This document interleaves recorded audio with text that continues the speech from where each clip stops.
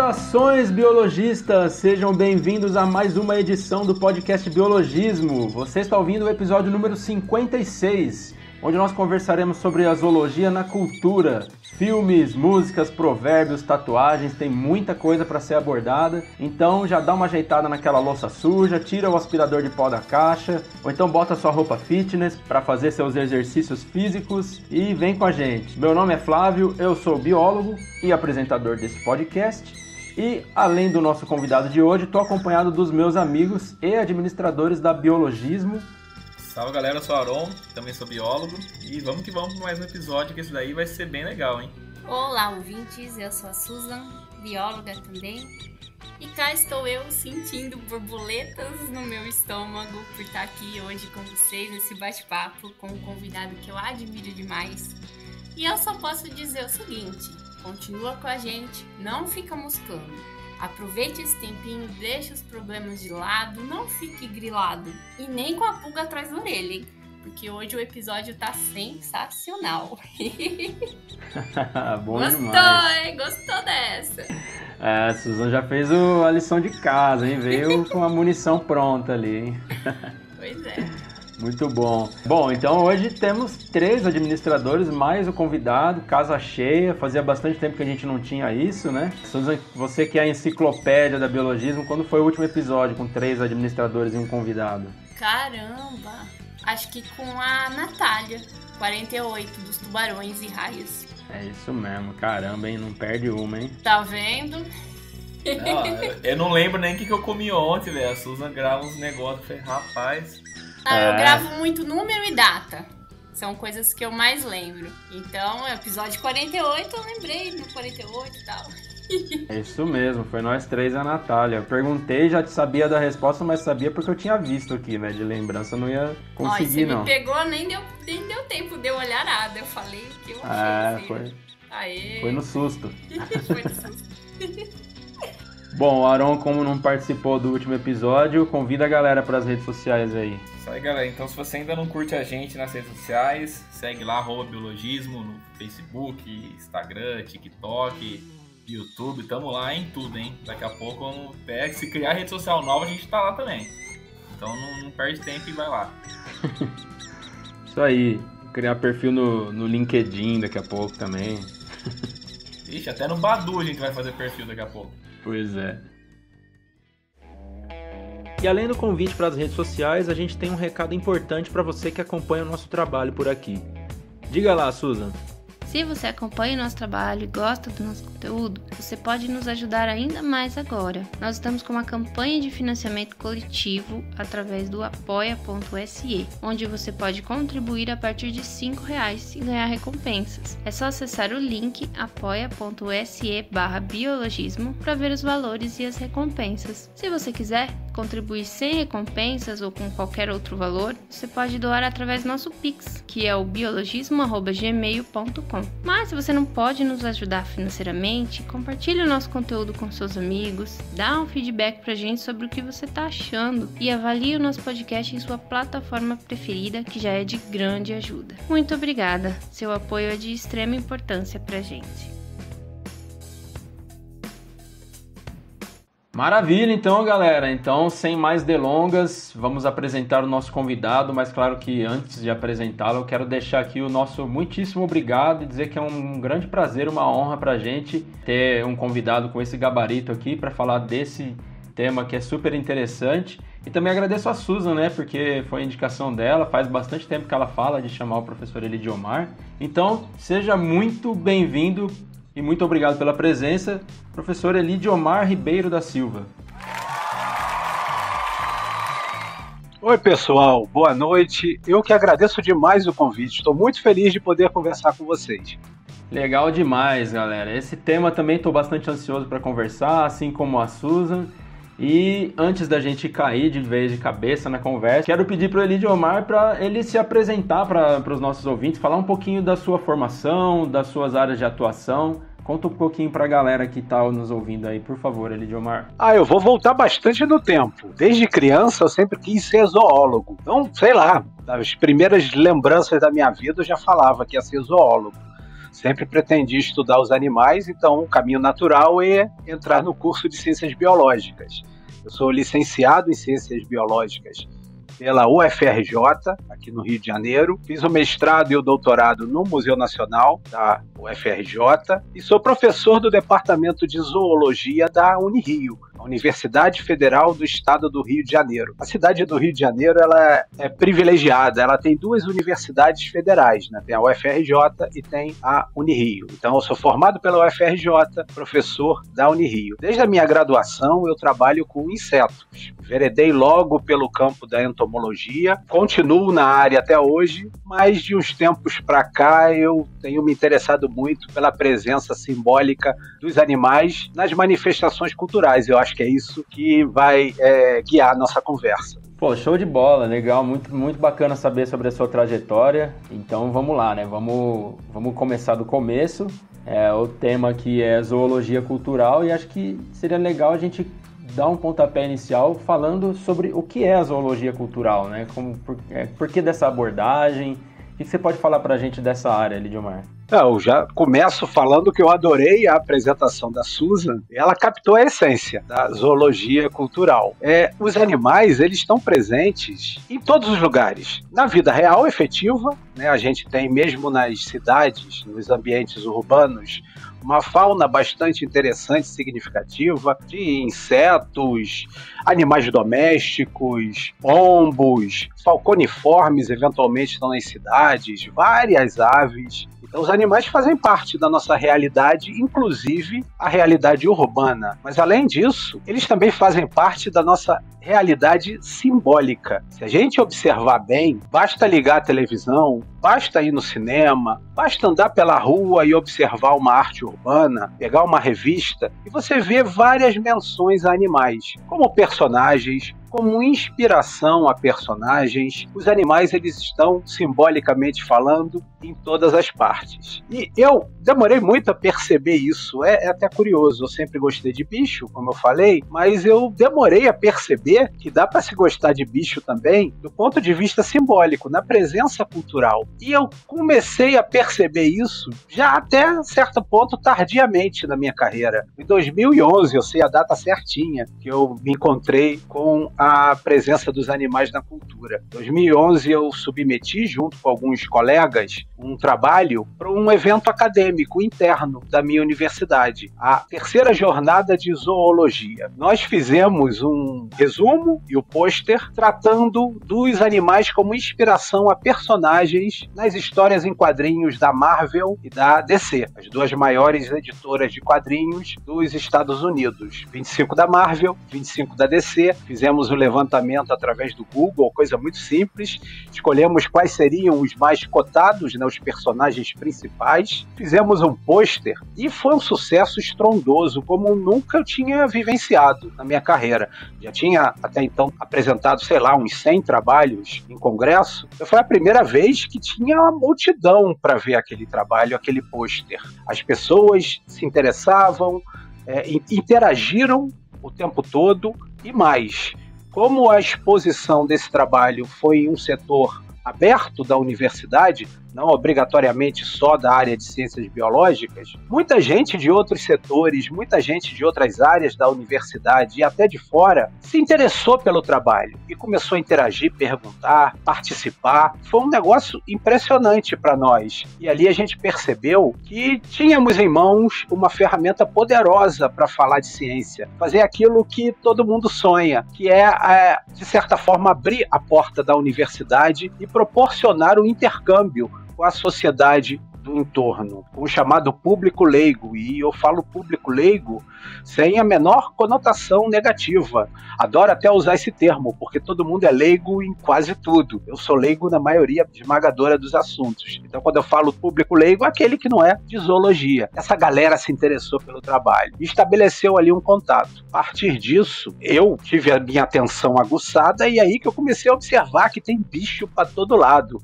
E a gente usa muito pouco. E aí fui começar a pesquisar para saber, pô, alguém deve ter percebido isso, deve ter algum conceito dentro desse, desse campo de observação. E o barato é que eu consegui encontrar um conceito dentro da entomologia. E eu nem passava pela minha cabeça. E na década de 1980, um cidadão de nome Hogue, entomólogo estadunidense, já tinha lançado as bases do que ele chamou de entomologia cultural. A partir daí foi molezinha. Logo, logo eu junto também com colegas, nós acabamos elevando esse conceito do que era só um estudo de insetos na cultura, a entomologia cultural, para um conceito mais amplo, incluindo todos os animais. E aí surgiu uma definição mais moderna de zoologia cultural, que é que a gente usa até hoje. É o estudo da presença dos animais, do ponto de vista simbólico, em qualquer tipo de manifestação cultural humana. E quando eu falo qualquer, é qualquer mesmo. Aí vai de arquitetura até grafite urbano, é, folclore, quadrinhos, livros, revistas, tudo. Tem presença cultural, tem animais incluídos, está dentro da seara de estudo da zoologia cultural. A gente pode aplicar isso para um monte de coisa. Pode aplicar para divulgação científica,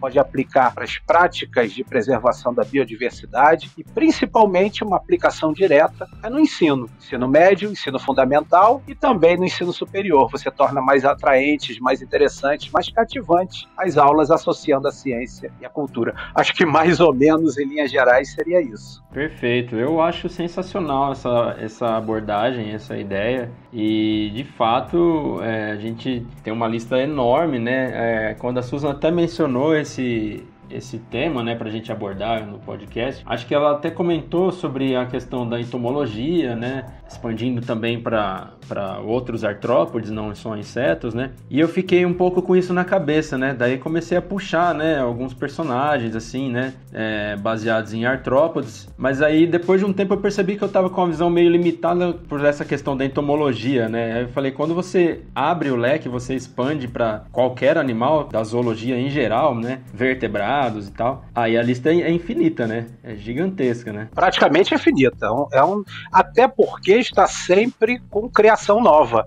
Então está sempre surgindo personagem, um livro, um filme que aborda um animal de algum aspecto. Esse campo, da, essa parte da entomologia, você mencionou muito bem, esse conceito de entomologia cultural, ele transcende já os insetos. Ele inclui também aqueles grupos que classicamente eram estudados dentro do nome entomologia. São aqueles grupos que costumam eventualmente aparecer em revistas de entomologia, mesmo não sendo insetos insetos. Então, aracnídeos entram, crustáceos entram, miriápodes entram. Então, já é um conceito amplo. Quando Rogue, na década de 80, definiu isso, ele foi até certo ponto tímido. É, ele falou que esse, essa percepção, ele, ele separou a entomologia em setores. O setor mais prático de trabalhos de laboratório, aquele que descreve espécies, organiza, faz listas faunísticas, um setor econômico, que é aquele voltado a controle de pragas, pragas urbanas, controle de vetores, e a novidade é que ele trouxe esse setor cultural. E ele falou que era ligado às humanidades. Ele foi realmente bem econômico nas palavras. Muito tempo depois, por volta de 2010, 2011, um espanhol chamado Montserrat aí escancarou o conceito de entomologia cultural, incluindo todos os artrópodes, não só insetos, de modo explícito, e botou qualquer manifestação cultural. Ele deu exemplos. A lista de exemplos que o cara deu no artigo é gigantesca, né? E aí realmente vai de A a Z. Todos os setores culturais dos seres humanos têm a presença de insetos ou outros artrópodes entomologia cultural. Foi esse conceito que a gente elevou para a zoologia cultural. Então tem bicho, tem cultura, interessa demais pra gente. Então, eu achei assim, é... Hoje eu fico super animada e até um pouco nervosa com o episódio de hoje, porque eu também não conhecia, não, não sabia nem da existência desse, desse tema, é, dessa área de estudo. E foi o professor Elidiomar que apresentou, né? É, que me apresentou esse tema e logo na, na, primeira palestra que eu vi dele, que era né, sobre insetos, claro, então eu já, já cheguei a, a brilhar o olho de ouvir ele falar. E aí ele me lança insetos na cultura pop, alguma coisa assim. Eu falei, caramba, existe isso, né? E aí, a partir daí, eu sempre comecei a acompanhar, da, é, enquanto às vezes que eu descobria que o professor estava dando alguma palestra por aí, nesses workshops, agora com a pandemia, acho que ficou bem mais fácil da gente participar desses eventos online, né? E eu sempre tava vendo uma palestra dele aqui, outra palestra dele ali, e prestando atenção nas coisas.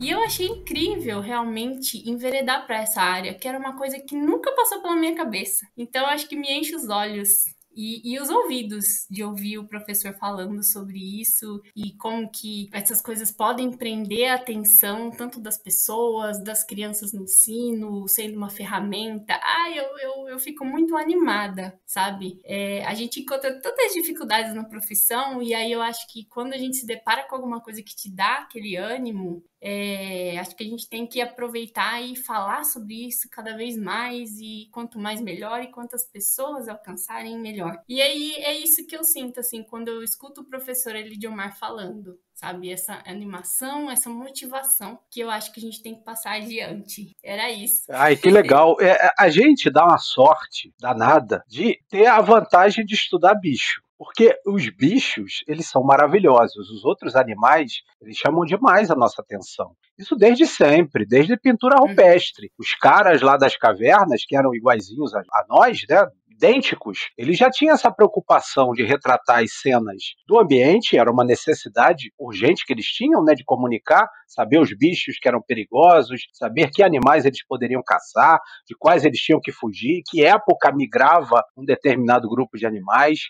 Então eles eram pesquisadores. Olha que barato, eles eram precursores da, da nossa profissão. E ao, ao, mesmo tempo eram artistas, porque eles faziam toda essa comunicação através das pinturas. Essas pinturas que encantam a gente até hoje. E, e a, a, fala da Susan é absolutamente perfeita nessa percepção.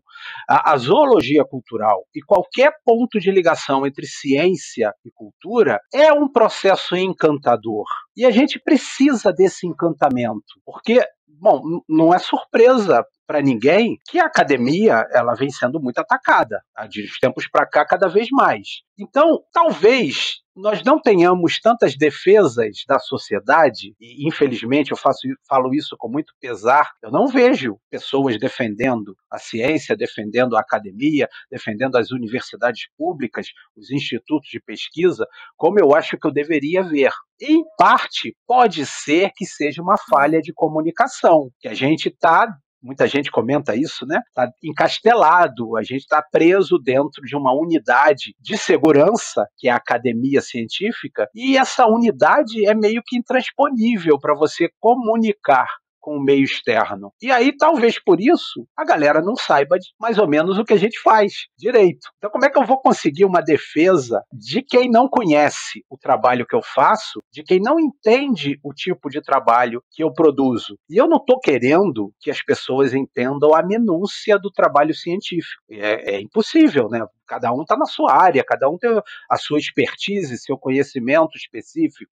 É, eu não conheço o expertise, o tema é específico do laboratório do lado do meu. Não conheço, não domino, isso é normal. Mas eu entendo a importância daquilo. E talvez esteja realmente faltando uma forma da gente falar da importância do trabalho que a gente faz. E uma forma que eu vejo, além das maravilhas da ciência, você vê um documentário sobre a vida selvagem, você fica encantado. Uma, uma forma é você mostrar a inserção cultural daquilo. Isso é muito inclusivo. Eu falei das três possibilidades de utilização da zoologia cultural, eu sou muito convicto delas. Talvez a mais, a que mais me deixe com brilho nos olhos seja a aplicação no ensino. Vocês são bem jovens, então uhum. Não há, há, muito tempo, vocês estavam em sala de aula, ensino médio fundamental. Eu sou muito mais antigo, o ensino é, tinha outra nomenclatura, era primeiro grau e segundo grau. Era muito comum na minha época, como ainda é comum hoje, você ter alunos sentados na carteira, assistindo a uma aula, e ali pensando coisas do tipo: pô, o que, que eu estou fazendo aqui? Infelizmente isso acontece. E, claro, o mundo se tornou muito mais atraente por causa da quantidade de informações disponíveis. Um garoto, uma menina, ele saca o celular e tem acesso ao mundo inteiro de informações. O mínimo que a gente espera é que a escola seja tão interessante quanto que é para poder disputar com o mundo a atenção desse aluno. E aí, quando você parte de uma informação cultural que esse aluno, esse jovem, tem, seja um mangá, seja um anime, seja uma história em quadrinho, seja um filme que ele viu, seja uma lenda que a família dele contava, um conto folclórico, quando você trabalha isso para falar de ciência, para se falar de zoologia especificamente, esse aluno ele se sente incluído. Ele faz efetivamente parte do processo de ensino e aprendizagem. Ele percebe que ele sabe daquele tema, ele entende aquilo, ele está incluído. E é claro, o aluno é a parte fundamental, principal até do processo de ensino e aprendizagem. É uma inclusão efetiva que se faz através da cultura e da associação com a ciência. Mesmíssima coisa pode ser feita com relação às práticas de preservação da biodiversidade. É, no podcast que vocês abordaram, o, o grupo dos gambás,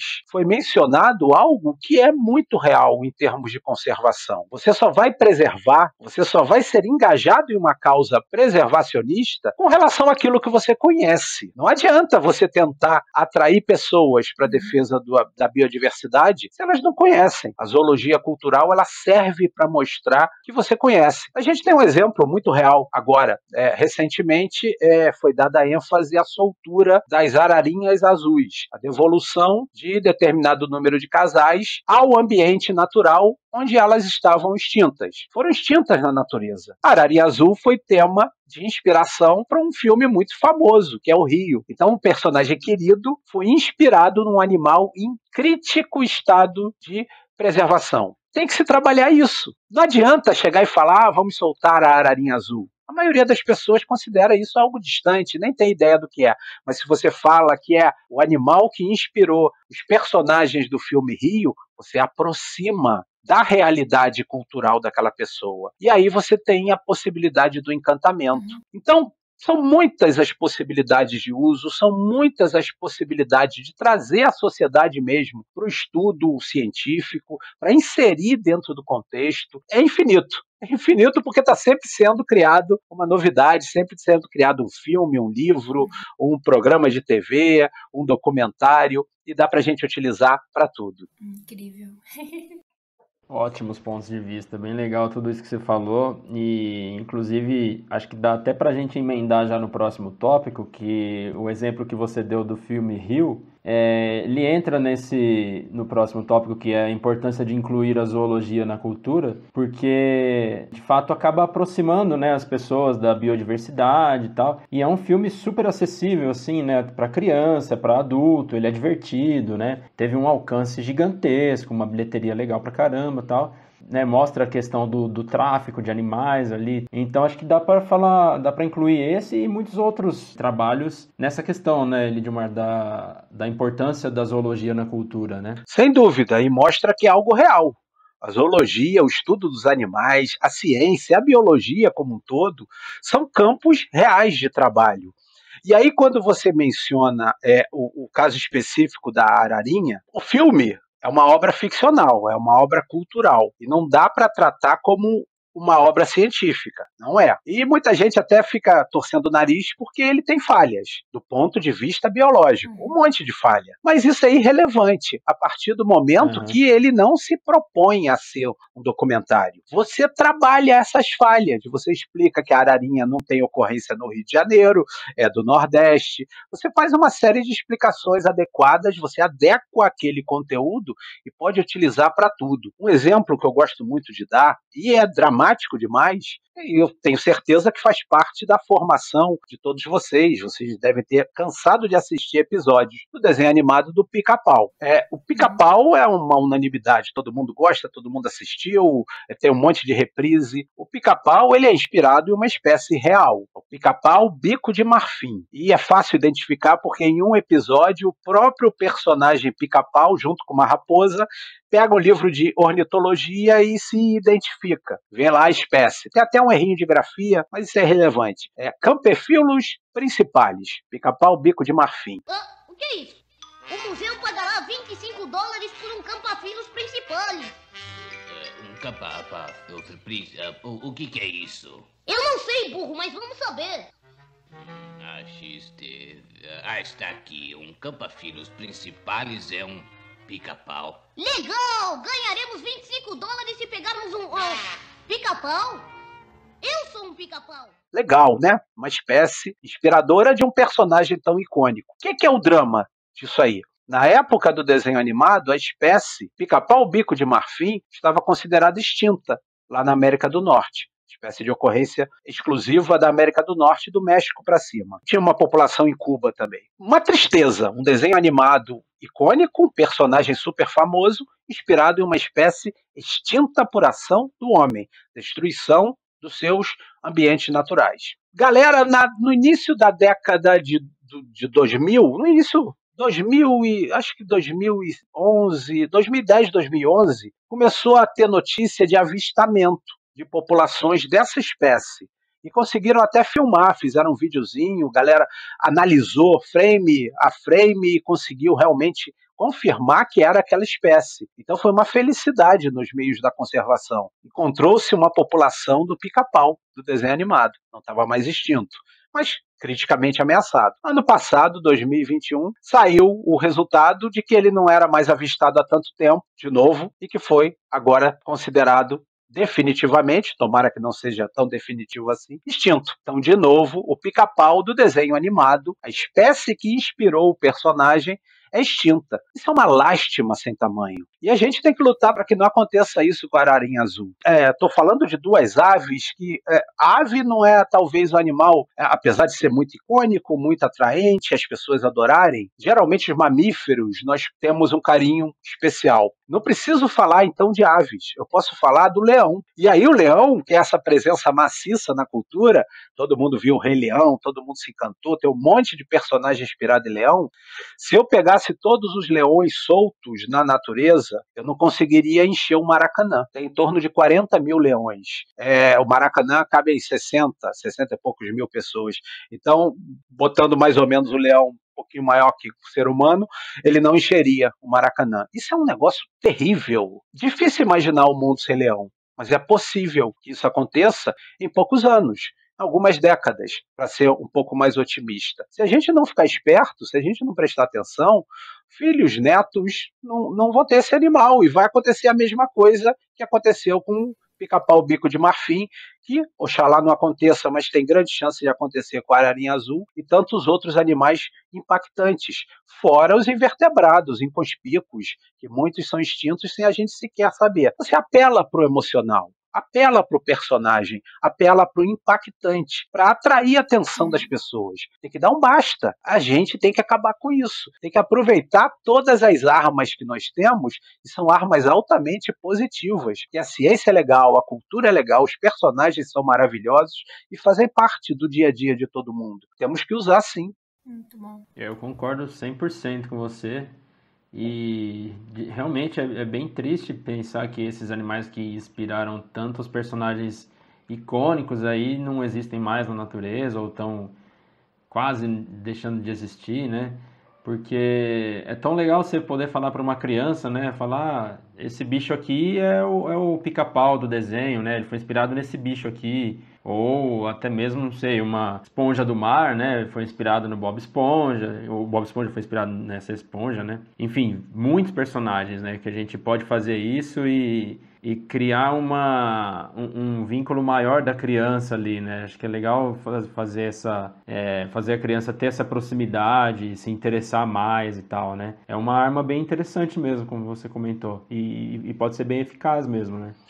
É, é absolutamente fundamental. É, é claro que é, toda campanha ela precisa de um apoio político. E para ter um apoio político, você tem que ter algum dividendo, digamos assim, para o cara que vai apoiar a campanha. Então, se você vai tentar conseguir no Congresso uma, um apoio, uma verba maior para a defesa da biodiversidade, os congressistas eles só fazem isso se eles forem pressionados pelos eleitores. Isso daí é uma prática política comum. E aí, até para você chegar nas pessoas que eventualmente vão pressionar os seus políticos para aprovarem leis em defesa do, do, meio ambiente, da biodiversidade, você tem que convencer essa pessoa apelando também para o emocional. Eu não vou chegar para uma pessoa e falar, eu quero é, a sua simpatia para a defesa da ararinha azul, Cyanopsita sphinx. Dificilmente alguém vai ter simpatia por uma abordagem desse tipo. Mas se eu chego e falo, Eu quero a sua participação, o seu engajamento numa campanha de preservação da espécie que serviu de inspiração para o personagem Blue, para a personagem Jade, do desenho animado, do filme Rio que você gostou tanto. Percebem? É muito mais viável você estabelecer esse laço efetivo cultural que ele existe. E aí a pessoa de repente vai pensar, cara, como é que pode, né? Que, que negócio eu eu sou da área de ciência, sou da área de zoologia, então eu morro um pouco cada vez que eu penso nessas espécies que foram extintas e eu não tive a oportunidade de conhecer, por ação do homem. E são tantas já tantas em caminho para isso. Mas mesmo quem não é engajado, quem não tem uma afeição aflorada, quando você toca pelo cultural, o cara percebe que gosta, porque todo mundo gosta de bicho, todo mundo gosta dos personagens, todo mundo gosta dos desenhos, dos livros, dos filmes. Então é fácil atingir por esse lado. Eu acho que é um ponto que a gente tem que batalhar bastante nas campanhas de preservação da biodiversidade. Usar o real, porque a natureza é maravilhosa, os bichos, as plantas, os fungos são um espetáculo, as imagens são incríveis, mas usar também o cultural, porque como eles são tão espetaculares, eles inspiram personagens muito espetaculares também e que fazem parte do imaginário interno de cada um. É para mim um caminho óbvio e, e, me causa incômodo saber que pouco, a gente usa pouco isso. A gente pouco percebe essa presença. No caso dos animais, mas eu poderia falar de plantas, fungos, protozoários, estão todos muito presentes no dia a dia cultural. A gente tem que explorar demais isso. Ah, sim, sem dúvida. Não, mas acho que é isso aí mesmo. Acho que é difícil, cara, você ver alguma. Mesmo que seja mínimo, que não tenha alguma referência, alguma coisa biológica, né, cara? É, é bem, acho que isso é, é muito é, cativa muito a galera, né? Tipo, você botar algum animal, alguma coisa assim que. pra atrair mesmo, tipo, criançada, ela. Eu, eu, pelo menos quando eu era moleque, tipo, eu era fascinado por coisa, por bicho. Então acho que isso aí acho, acho que é até uma estratégia também, mesmo que eles não queiram fazer, ai uma, uma ideia mais, tipo, ecológica e tal, assim, de, de preservação, mas é um negócio que acho que cativa a galera, né? Eles é, é mais é apelativo, assim, não no sentido ruim da palavra, né? Mas acho que é uma coisa legal para uhum. atrair o público mais, mais novo também, né? Sempre tem uma possibilidade de utilização, mesmo quando não tem, digamos assim, é uma finalidade científica. Como você falou, é o encantamento, Sim. é você gostar daquilo, achar bonito, achar interessante. Há poucos dias eu assisti é, os desfiles de Parintins. Passou na, acompanhei pelo YouTube. É, um festival folclórico hum. maior do mundo, um espetáculo incrível, comparável com desfiles de escola de samba. Eu, particularmente, acho até mais espetacular. Aí você começa a ver você vê a presença dos animais em tudo. Claro, está em Parintins, estado do Amazonas, a Amazônia como um todo, a presença da natureza ela é constante. Mas, de qualquer forma, salta aos olhos. Aí você começa a escutar as lendas e a história que eles narram. Grande parte dessas lendas tem a presença de animais como inspiração. E são bonitas, e são culturais, e são muito ligadas a, a, a determinados grupos étnicos da formação do povo brasileiro, né? dessa mistura que caracteriza a, a, nossa gente, e são histórias fascinantes. Não tem como não perceber o potencial de utilização disso, desse encantamento. E aí, quando tem os animais no meio, fica mais bacana ainda. Quando tem a natureza, o momento pede que a gente faça. Todas as vozes em defesa do meio ambiente elas são necessárias, porque a situação está absolutamente dramática. A gente percebe no dia a dia as mudanças climáticas, a gente percebe no dia a dia como as estações são, são mais esquisitas. Aqui no Rio de Janeiro, tem oscilações, às vezes, de 5, 6, 10 graus de um dia para o outro. Isso não é corriqueiro, não é normal. É, antigamente não era assim, né? Costuma-se falar, ah, antigamente, no meu tempo, não era assim, mas não era mesmo. A gente está vivenciando mudanças. A própria pandemia é um produto de uma destruição ambiental. A partir do momento que você é, destrói áreas naturais e aumenta a chance do salto de viroses novas, de vírus que até então não, não atacavam o ser humano, o homem estava afastado do seu ciclo biológico natural, do seu ciclo de desenvolvimento, passa a ser inserido a partir do momento que você devastou uma área, a partir do momento que você misturou uma carne de um animal abatido com animais vivos em condições precárias de higiene. Tudo isso é produto da destruição do meio ambiente. E cada dia a gente vê, os números são assustadores. O INPE está sempre mostrando, é, volta e meia tem reportagem mostrando o tamanho da destruição da Amazônia. E a Amazônia tem muita visibilidade, naturalmente, mas se for falar de Mata Atlântica, a destruição é percentualmente maior. E a gente está meio que atônito assistindo isso. Claro, a academia não pode fazer muito, a ciência não pode fazer muito, a zoologia não pode fazer muito, mas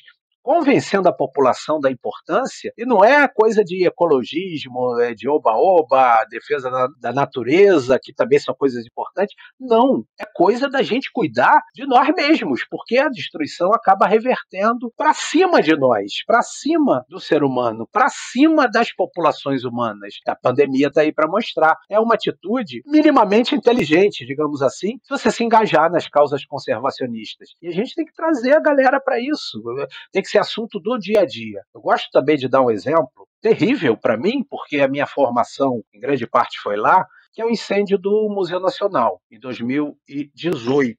É, eu aqui no Rio de Janeiro, eu percebi uma comoção popular que durou um ou dois dias com o incêndio do museu. Hoje ninguém lembra.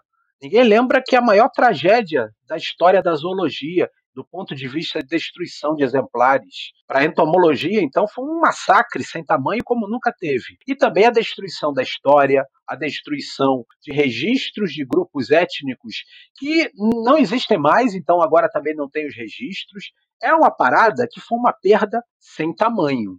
Nós não conseguimos mostrar para a população o tamanho dessa perda. Dois dias depois, os políticos estavam falando em construção ou reconstrução do palácio, do prédio, mas não tinham ideia do tamanho do acervo perdido e da importância daquela uhum. perda. Agora que já passou um tempão, ninguém fala mais. Nós não temos a defesa popular.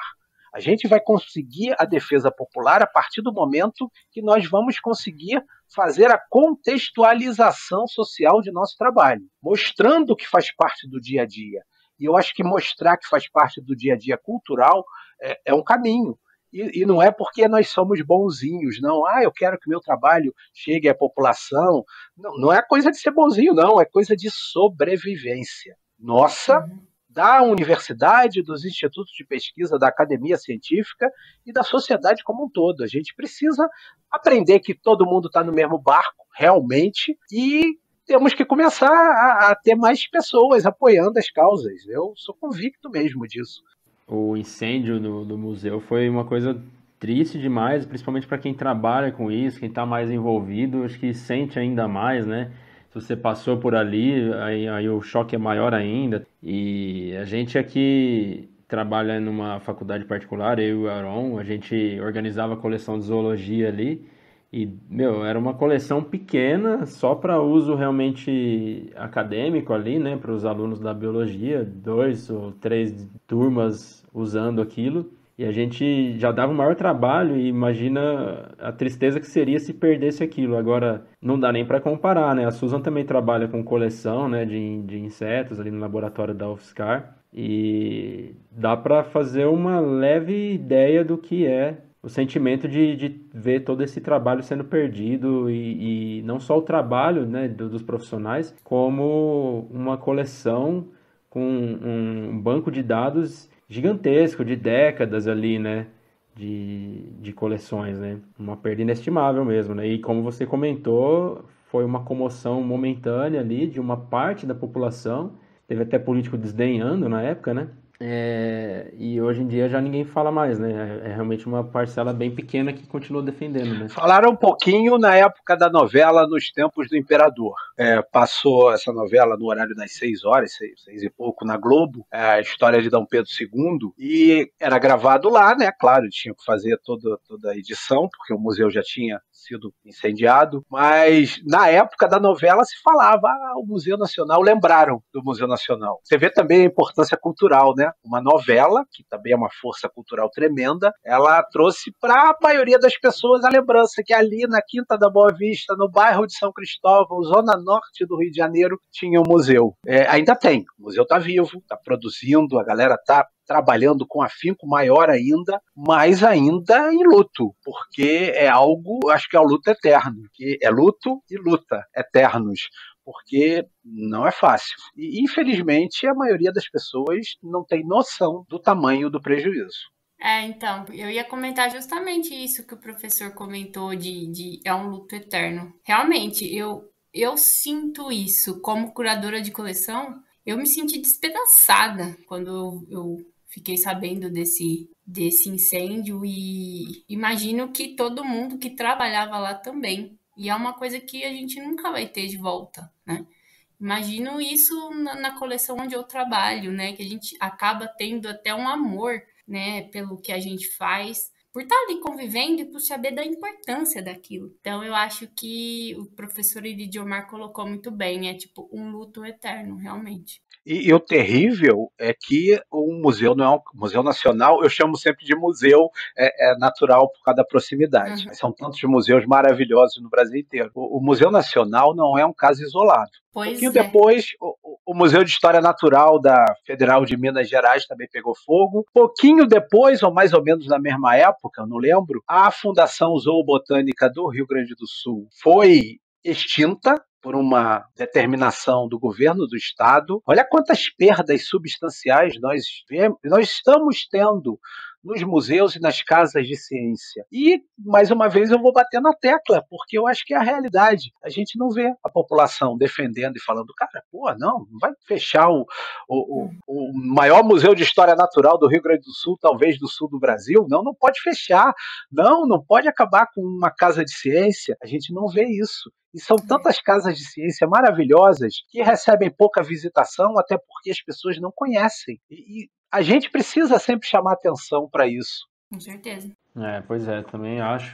A gente é, tenta fazer a nossa parte, né? Como divulgador, o Lidilmar faz isso muito bem, tal, divulgando, né? E a gente também tenta contribuir um pouco, mas é, fica aquela sensação de trabalho de formiguinha, né? Que, que não tem o apoio, não, não só o nosso trabalho especificamente, mas a ciência como toda, a divulgação da ciência, de, de museus, de coleções, é, se tivesse um pouquinho mais né, de, de reconhecimento e de, de investimento, né, é, com certeza atingiria mais pessoas, alcançaria mais pessoas e e, consequentemente, teria mais interesse né, das pessoas em, em preservar, em, em, saber o que é feito ali. Né? Então, e você tocou num ponto fantástico. Né? Vocês fazem um trabalho sensacional de divulgação. O podcast é uma, é uma ferramenta poderosa nesses tempos atuais. Tem outros grupos que fazem esse trabalho, em grande parte por iniciativas individuais. Ação entre amigos, pessoas que se conhecem resolvem tocar, tocar para frente um projeto nesse sentido. Uhum. E, e, e, é um trabalho que merece o reconhecimento de todos, porque é, sonhar é, é aquilo, né? a gente ainda tem a possibilidade de sonhar. O sonho era ter nos institutos, nas universidades, nas casas de ciência, equipes prontas para fazer esse tipo de trabalho de divulgação das pesquisas realizadas no próprio local e das outras pesquisas, de uma linguagem que todo mundo possa entender. O podcast é uma ferramenta muito legal para isso e eu já gostava antes de conhecer. É, porque eu, eu, sou muito fraco com tecnologias. Eu, eu é, até fazendo coro à introdução, vocês sempre usam no, nos episódios, que é a hora de lavar a louça para escutar. Eu lavava a louça escutando vídeos no YouTube, mas era para mim funcionava como podcast, que eu estou lavando a louça, estou escutando o vídeo, não estou vendo as imagens. Quando eu encontrei o formato do podcast, falei, cara, é isso, isso é fantástico. Você pode escutar no ônibus indo para o trabalho. Aqui no Rio de Janeiro, às vezes a gente fica uma hora, uma hora e meia, duas horas no ônibus. É o uhum. tempo de você escutar um episódio. Então, é, é uma ferramenta maravilhosa, que tem tremendo potencial. Então, oxalá seja cada vez mais espalhada e oxalá tenha apoio oficial das instituições para fazer esse trabalho, essa ligação entre a, academia, entre a ciência, entre os produtores de conhecimento, digamos assim, e a sociedade do entorno, que é tudo uma coisa só. Uhum. É, seria bastante importante, bastante interessante mesmo para é, espalhar ainda mais, né? Esses, esses conhecimentos que, que os nossos convidados principalmente trazem aqui. Seria bem, bem legal mesmo.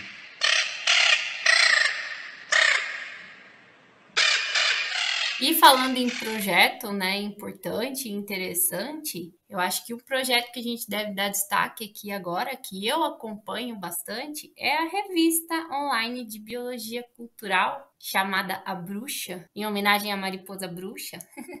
senhor professor, como um dos editores, poderia nos falar um pouquinho mais sobre a revista Bruxa, como surgiu, questão do alcance, as principais dificuldades para os nossos ouvintes conhecerem um pouquinho também? Ai, que legal. A, a, a, bruxa é nossa querida, nossa menina dos olhos. Ela, na verdade, ela surgiu de forma um pouco secundária, porque primeiro surgiu é, um evento, um ano antes surgiu um evento que nós organizamos anualmente, que é o Colóquio de Zoologia Cultural em que a gente recebe trabalhos de um monte de gente, o número de trabalhos sempre é, é, supera os 40, 50, 60, e é um dia dedicado a conversas sobre a presença dos animais na cultura. A gente realizou a primeira edição em 2016, foi um sucesso, publicamos o livro, saiu um livro de resumos. Quando nós fizemos a edição de 2017, também foi legal demais, na hora de publicar o livro de resumos, bateu aquela ideia. Poxa, um monte de gente fica falando que queria um canal de divulgação de artigos é, e que não se sente muito estimulado para mandar para outras para as revistas, porque muitas vezes, como, como é uma percepção um pouco diferente né, do, do padrão que está acostumado à ciência, uhum. é, muitos editores até já negam os trabalhos no nascedouro, recebem e nem mandam para análise dos pareceristas, já cortam direto. Tinha muita reclamação que a gente recebia informalmente nesse sentido. Na hora de publicar, então, o livro do segundo colóquio de Zoologia Cultural, eu e a editora principal de A Bruxa, a Lucy, que é minha mulher, também é bióloga, entomóloga e compartilha comigo esses sonhos de associação de ciência e cultura, a gente pensou, ao invés de fazer um livro, fazer uma revista. E a gente publica os livros do Colóquio de Zoologia Cultural nessa revista. E aí surgiu A Bruxa. Foi publicada pela primeira vez a, o volume 1 e o primeiro número no dia 31 de dezembro de 2017. Então começou, estreou no primeiro, no último dia do ano de 2017. E aí quando a gente bolou, vamos fazer uma revista que vai associar ciência e cultura, vai aceitar artigos dentro desse perfil, é, tentando fazer meio que romper a tal da bolha, né? Chegar também em pessoas que são fora do, do ambiente de trabalho científico, obrigatoriamente. É, como é que a gente vai, que nome que a gente vai dar para essa revista? Vamos pegar dois entomólogos, vamos pegar um inseto, né? Tem que ser um inseto com importância cultural. A gente pensou em Jequitiranabóia, mas já é o símbolo da Sociedade Brasileira de Entomologia. Inseto maravilhoso. Uhum. Ah, que outro inseto cultural é importante pra caramba? A bruxa. E a bruxa, essa mariposa espetacular, muito presente até em ambientes urbanos, com declínio populacional recente, além de tudo, carrega esse nome comum que faz ainda alusão às detentoras do conhecimento. Né? Bruxa é um termo riquíssimo do ponto de vista cultural,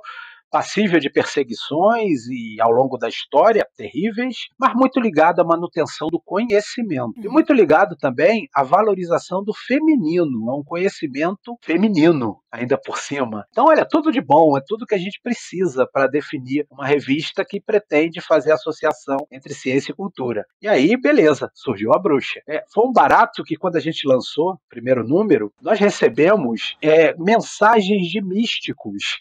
Olha que coisa, eu nunca pensei que fosse vivenciar isso. Místicos falando: olha só, troca o nome dessa revista, não usa o nome bruxa, não. Esse nome tem maior conotação negativa. E a gente falando, não, a gente quer exatamente desmistificar essa parada. Nós somos do time das bruxas, sempre fomos, agora mais ainda. E a revista já está no seu volume 6, com um número bastante legal de artigos, temas diversificados, surpreendentes. Cada vez eu me surpreendo quando eu recebo um, um trabalho para avaliação. É, é, incrível essa associação de ciência e cultura, como já falamos algumas vezes nessa nossa conversa, não tem limites, é surpreendente. Uhum. E o legal é que aí, aos poucos, de boca em boca, o alcance vai aumentando e vai chegando em outros lugares. É, é muito bacana você receber um artigo em A Bruxa de pessoas que a gente conhece. Então, ah, eu conheço determinado pesquisador, sei qual é a linha de trabalho que ele tem, é, sei que ele gosta da associação também de ciência e cultura, legal. Mas quando eu recebo um trabalho, quando nós recebemos um trabalho de equipes que nós não conhecemos, aí é uma alegria completa, porque a gente está vendo o alcance aumentar. Temos ainda um alcance muito limitado, porque é, o trabalho é meio mambembe, é meio artesanal. Basicamente, Lucy como editora principal, eu como editor adjunto e um elenco bacana de revisores, os pareceristas que a gente está, está sempre recorrendo para análise, além, é claro, dos secretários. Mas é um grupo muito pequeno e a gente tem outras atividades faz meio que nas horas vagas. Mas mesmo assim estamos dando conta do recado e eu tenho percebido um alcance cada vez maior. Nós não somos muito ligados a Qualis, não. Eu acho que o Qualis tem sua importância, óbvia, mas ao mesmo tempo ele também é passível de uma série de críticas e eu concordo com a maioria delas, inclusive com relação ao elitismo da ciência e com principalmente por penalizar bastante as revistas brasileiras, o que é uma pena, pela minha percepção. Mesmo a gente não ligando para o Qualis, e o Qualis não é atualizado há um bom tempo, mas vazou aí há um tempo atrás, há uns três anos, o que o pessoal apelida de Vaza Qualis. É, como será o Qualis da próxima avaliação? E aí, com felicidade, a gente já viu que a bruxa vai entrar na, na classificação do Qualis, graças com certeza ao pessoal altamente qualificado que manda trabalhos para a gente, pessoal ligado a programas de pós-graduação, professores, doutores de determinadas instituições. Então, até nós não ligando muito para o Qualis Capes, de certa forma, a Capes acabou prestando atenção no trabalho, nessa abordagem. E outras revistas dentro dessa linha têm sido criadas, e outras revistas já consolidadas tem aberto um espaço para trabalhos com viés de divulgação científica, com viés de aplicação no, no ensino, com associação à cultura. Acho que a gente plantou uma semente bem legal. E a bruxa, eu, eu sempre, nas postagens, eu gosto de falar e convidar as pessoas para virem voar com a gente, virem voar com a bruxa. É um voo muito legal, porque dá muita satisfação. E a mesma alegria que a gente percebe sempre quando fala de zoologia cultural, a gente percebe quando publica um artigo em A Bruxa, divulga e vê a reação das pessoas, altamente positiva. E tomara que cada vez mais trabalhos cheguem e que tenham um alcance maior e possam ser utilizados em campanhas de preservação da biodiversidade, na escola, que é fundamental que esses trabalhos cheguem à escola para uma aplicação imediata no ensino médio, no ensino fundamental. É, a gente é muito feliz com os rumos que a revista tomou e pretendemos ainda que cresça. Estamos vendo como é que faz agora para tentar conseguir o DOI, vai ganhar um alcance muito maior quando tiver efetivamente o DOI, porque aí entra mais facilmente nos buscadores, é, tendo uma indexação mais efetiva. Eu, eu acho que a bruxa vai voar bastante. Ai, com certeza vai sim. E eu super recomendo, eu adoro estar tá lendo os artigos e eu não perco nenhuma edição. E eu recomendo para os nossos ouvintes também darem uma conferida porque é muito legal. Ah, e eu já faço o pedido, aproveitando a fala da Susan.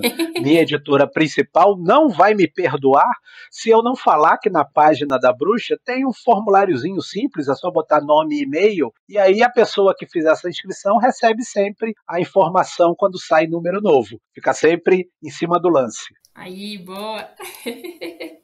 Legal demais. E, aliás, queria aproveitar que a gente está falando da, da revista, né? E, claro, parabenizar o Elidiomar pela iniciativa e todo mundo envolvido, porque isso é um trabalho incrível, né? Para os pesquisadores abrir esse espaço. E acho que seria legal a gente perguntar também como que o pessoal faz para mandar artigo para a revista.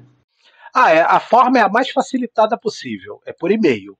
Até eu tenho recebido, a bruxa ela é atrelada ao meu laboratório. Na, na origem, quando você cria a revista, você tem que atrelar a um instituto, a uma instituição qualquer. Eu coloquei o meu laboratório, o Laboratório de Entomologia Urbana e Cultural, na Unirio, e a própria Unirio, a minha universidade, ela volta e meia convida que a bruxa seja inserida naqueles programas é, de periódicos institucionais. Aqueles que, quando você submete, é um formato um pouco, pouco humanizado, digamos assim. Você clica lá no lugar, aí abre um formulário, você preenche o formulário, você é, submete os trabalhos diretamente e toda a comunicação se dá por meio de um sistema. Em A Bruxa, a parada é toda pessoal. É e-mail para submissão, a gente manda e-mail para os revisores anônimos, recebe os e-mails, depois encaminha para os autores. É tudo na base da mensagem pessoal, guardando, claro, o anonimato entre as partes, mas é contato direto. A, a minha editora principal, ela não, nem demora muito, não. Ela recebe o trabalho, já vibra, já fala comigo, comenta o tema. A gente recebeu um ontem, estamos felizes demais com o tema que chegou, de grande relevância, é, e já é, encaminha logo para revisão e é fluxo contínuo também. A partir do momento que recebe o retorno dos pareceristas e os autores fazem as correções e ajustes necessários, já entra logo no processo de publicação. Tudo, tudo da forma mais pessoal possível. Maravilha, show de bola e desburocratizando, facilitando também o acesso aí para a galera. E claro que a gente vai deixar na descrição do episódio o link para o site, então é só entrar lá e, para quem ainda não conhece, né, conhecer, ver certinho como é que faz para mandar o artigo e quem sabe já submeter, né, para a revista. Elidiomar, nesse próximo tópico é um tópico que dá para abordar bastante coisa, né? A gente fala sobre as principais manifestações culturais onde os animais estão presentes. E é até um pouco difícil de falar sobre isso porque tem muita coisa que dá para a gente abordar, né? E aí nisso a gente tem alguns exemplos como filmes, séries, a gente já você já comentou um pouquinho no começo, né, do, do trabalho que vocês é, desenvolveram com personagens da Marvel, da, da DC e né, entra aí a, histórias em quadrinhos, tatuagens, tenho algumas inclusive de bichos, é, provérbios, bandas, é, é uma lista interminável, né? E então não sei nem por onde começar. Olha, isso é conversa para bar de metro, porque é, é, é, tudo, tem de tudo. É, eu acho legal é, a questão da presença é, dos animais na inspiração de personagens. Eu acho isso fantástico. E muitas vezes você tem aí um, um jovem que é fã de quadrinhos, segue Marvel, DC, ou gosta de mangás, vê animes, e ele gosta de um personagem e nem percebe que o personagem tem uma influência, uma inspiração em animais. Ou às vezes é até o próprio animal. E quando você chama atenção, o cara começa a observar tudo. E fala, cara, é mesmo, hein? Então tem o desenho animado que é repleto de referências animais. Então, quadrinhos talvez seja um, um bom exemplo. É, a gente tem muito personagem com inspiração em animais e provavelmente os principais, os mais queridos dos quadrinhos, principalmente da Marvel e DC, né? Não tem, é difícil não falar de quadrinhos no mundo ocidental sem falar da Marvel e da DC. Tem Batman, tem Homem-Aranha, que são os principais, cada um de uma editora o Wolverine, que é inspirado em um animal do hemisfério norte, a Mulher Gavião, o Rock dos Guardiões da Galáxia. Então, uma lista interminável de personagens queridíssimos e populares com inspiração em animais. E quando a gente abandona um pouco esses personagens mais famosos e começa a trabalhar com aqueles mais secundários, digamos assim, aí dá para inserir a influência dos insetos. Eu fiz um trabalho, participei da equipe que elaborou o trabalho, analisando os insetos da Marvel e da DC. Gente, são mais de 200 personagens que a gente conseguiu inventariar. E com certeza não é um levantamento exaustivo, foi publicado em 2014, com certeza está desatualizado. E eu digo que não é exaustivo porque nem a própria Marvel, nem a própria DC sabem direito o número de personagens que eles têm. Mas 200 e tanto insetos. A maioria pouco conhecidos, mas tem alguns famosões, né? Homem-Formiga, a Vespa, ganharam notoriedade por causa do cinema. O Besouro Azul, que é uma dinastia de personagens da DC, então tem pelo menos três grandes besouros azuis, já fez parte da Liga da Justiça, já fez parte um dos besouros dos Jovens Titãs, então fazem parte muito efetiva do imaginário da maioria dos jovens e até dos adultos que eram jovens há um tempo atrás e que continuam colecionando e consumindo quadrinhos, muito inseto. Dá para a gente classificar nas ordens. E aí tem coisas muito legais. Você pode tentar entender e identificar a representação social de determinada ordem. Se ela inspira mais vilões, se ela inspira mais heróis. Então é legal, dá para perceber bem a, é, a, forma como a gente enxerga determinados grupos de insetos. Dá para fazer isso para crustáceos, dá para fazer isso para aracnídeos, que também é um grupo incrível para se analisar, graças ao Homem-Aranha, que é um personagem de grande impacto. Então, nos quadrinhos, eles estão presentes em tudo. Insetos, artrópodes, me interessa mais diretamente, mas também todo tipo de grupo animal. Isso em termos de cultura pop. Quando a gente amplia um pouco esse conceito para abordar a chamada cultura popular, é aí fica mais incrível ainda a análise. Susan fez um discurso repleto de expressões com insetos. Um exemplo maravilhoso da cultura popular. A gente fala sobre inseto o tempo todo sem perceber. Claro, eu vou começar com uma expressão que talvez seja mais é, esperançosa, digamos assim, que é a que diz que a esperança é a última que morre. A pessoa, quando forjou essa expressão, não estava se referindo à esperança inseto, mas a gente pode assumir e pode pegar para a entomologia também esse conceito, para deixar um quê de esperança no ar. Mas tem mosca de padaria, picado pela mosca azul, barata voa. Era muito comum na minha infância, é, aquelas brincadeiras de escola, pegar o tênis um do outro e jogar longe, gritando barata voa, desbaratado, barata tonta, com a pulga atrás da orelha, que a Suza mencionou. E tem expressões que são muito legais para você trabalhar. Recentemente tem ganhado ênfase a questão da análise da grilagem. Grilagem é um processo terrível é, de roubo de terras, invasão de terras e uma forma sórdida de você legalizar essas terras, quase sempre ligada a agronegócio, a grande exploração ambiental, destruição do meio ambiente. E a grilagem, que é feita pelo grileiro, é uma expressão que faz alusão ao grilo. Apareceu na novela, nos tempos do imperador. É um casal de trambiqueiros que estava tentando legalizar é, uma terra invadida, tomaram posse lá na época ainda do, do Império, eles botaram documentos numa gaveta, numa caixinha cheia de grilos. E aí o grilo vai processando aquele papel, né, comendo, evacuando, fazendo aquela algazarra toda e o papel fica com aparência de velho, para dar fidedignidade àquele documento que é um documento frio. Apareceu numa novela da Globo. Olha que negócio legal. E a gente, quando fala das, dos conflitos de terra nas áreas urbanas e agora na Amazônia, que está no foco, graças à questão do, do Bruno e do Dom, a grilagem e os grileiros estão sempre nessa parada. É uma expressão alusiva ao inseto. É pena que o grilo não tem nada a ver com essa bandidagem, né? O grilo tem o seu nome indevidamente utilizado, ele devia até processar essa turma.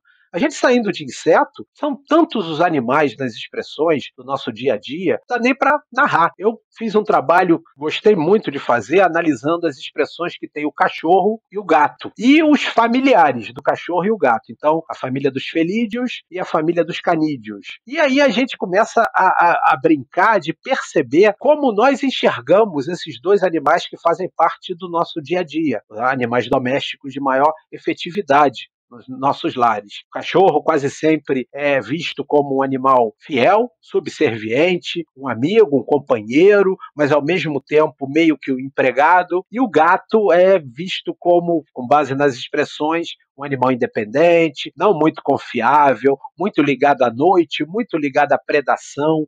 Então é muito legal você perceber e fazendo um tipo de análise dessas expressões, você analisa não só os animais em si, mas principalmente a nós mesmos, aos seres humanos e a forma como eles percebem os outros animais. E aí você pode sair das expressões e evoluir um pouquinho para as fábulas. São tantas as fábulas, La Fontaine, Esopo, né? O La Fontaine fez uma releitura. Aqui no Brasil, Monteiro Lobato pegou algumas dessas fábulas. Câmara Cascudo também utilizou algumas dessas fábulas e adaptou para a realidade brasileira. Os animais são muito presentes nas fábulas. E aí a gente chega no folclore. Folclore riquíssimo, e eu estou falando folclore no sentido de cultura popular mesmo, sabedoria popular. Quase todos os grandes mitos e lendas folclóricos do Brasil têm uma origem em animais. E aí é Saci, Matinta Pereira, Boitatá, Curupira que monta um, um animal, o Boto,